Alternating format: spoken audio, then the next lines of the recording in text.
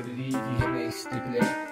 We need to talk about your TPS reports. One feature of Windows 10 that is both helpful and annoying at the same time is the way that it notifies you of events on your computer. It's like a modified, slightly less annoying version of Clippy. Hi, I'm Clicky. I'm here to help you today. However, as you collect programs and visit websites, these notifications can start to pile up. Many of these notifications are quite useless and can even interfere with your work or gaming when they show up unexpectedly.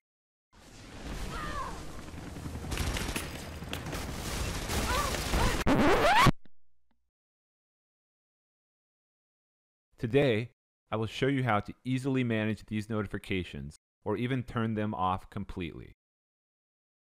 First, click on the speech bubble on the bottom right corner of your screen. Then, click on Manage Notifications at the top of the window that opens.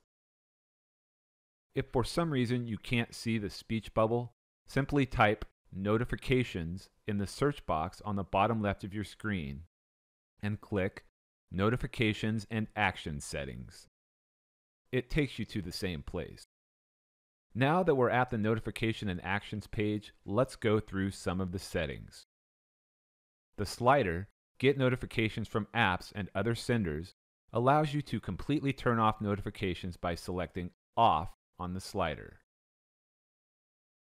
The Show Notifications on the lock screen checkbox allows you to receive notifications when you are not logged in. The Show Reminders and Incoming VoIP Calls on the lock screen checkbox lets Windows display important meeting information and calls without you having to be logged in.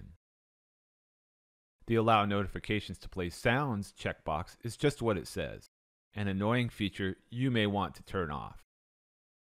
The Show Me the Windows welcome experience after updates and occasionally when I sign in to highlight what's new and suggested checkbox are those splash screens that pop up unexpectedly. I prefer to have them off.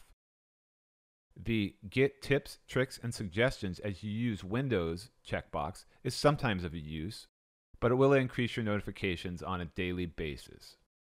Remember, just toggle the checkbox on or off to apply or remove the setting. Those are the main features of notifications.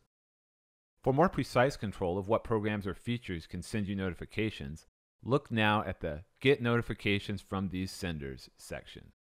From here, you can toggle on or off which specific programs and features are allowed to send you notifications. Some are, of course, more important than others depending on what you use your computer for, so look through the list and make your selections. You can also sort how these apps and features are presented via most recent or by name by clicking on the Sort By drop-down menu. When you're done, close the window, and that's it.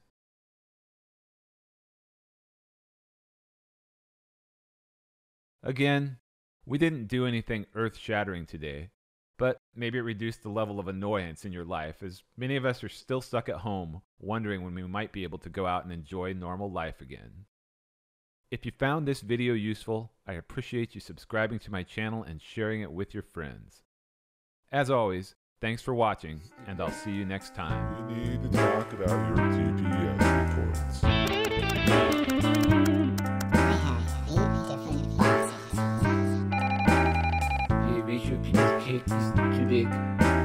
Didn't you get the memo?